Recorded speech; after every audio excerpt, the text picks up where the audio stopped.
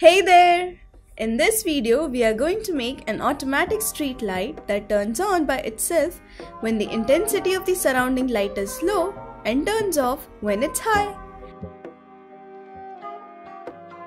To make the street light, you will need a Evive, a corrugated sheet, straws, an LDR or photoresistor, LEDs, resistors and jumper cables. Let's begin by making the base for our street light. Make a box of 10 cm by 8 cm by 5 cm using the corrugated sheet.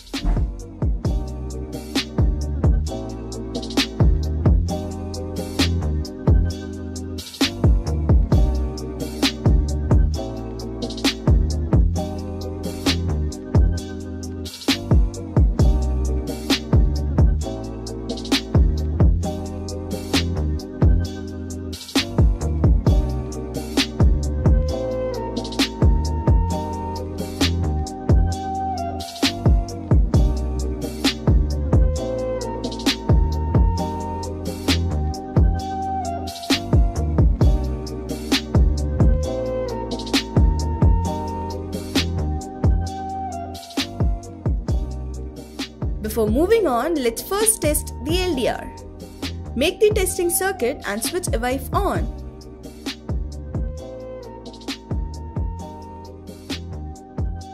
Open the pinstate monitor from the menu and select analog pins. When we turn the lights off, the value written next to pin 0 should decrease. It should increase when we turn the lights back on.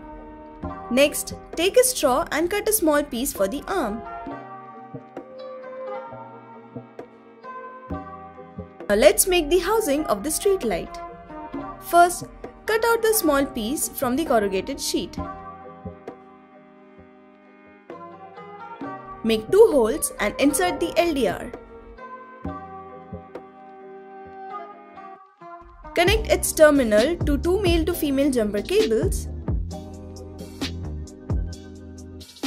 and pass them through the arm.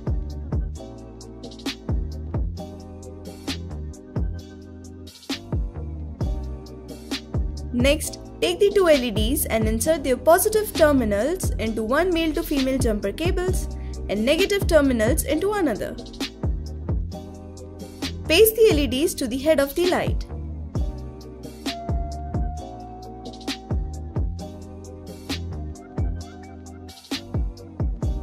Now, make a small hole in the base to insert the pole.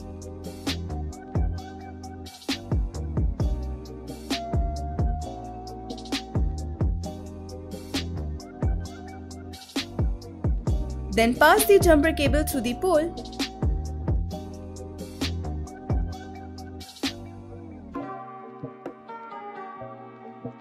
And paste the head to the pole using the hot glue.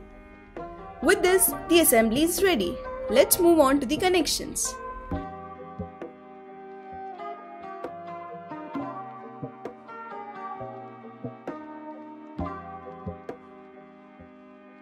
Connect the LEDs and the LDR to Evive as shown.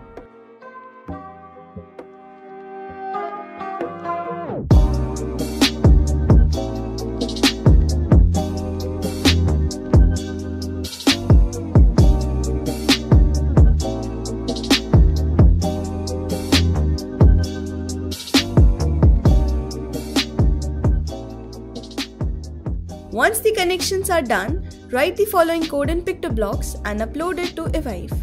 The program will start executing as soon as Evive starts up. The TFT display of Evive will show the status of the surrounding light.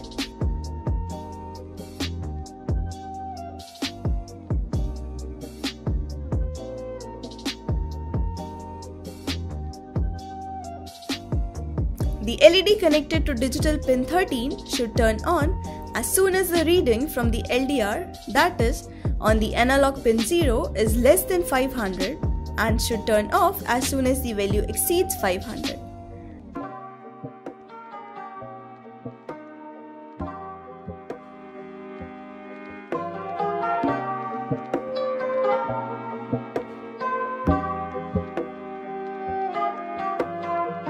That's all for the video. If you liked it, go ahead and give it a thumbs up. For more such engaging projects, subscribe to our channel.